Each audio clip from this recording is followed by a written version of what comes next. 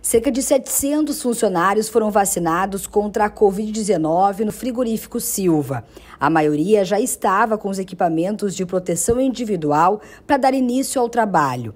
Os trabalhadores de indústrias, como é o caso de quem atua nos frigoríficos, estão contemplados nos grupos prioritários do plano de imunização segundo critérios do Ministério da Saúde.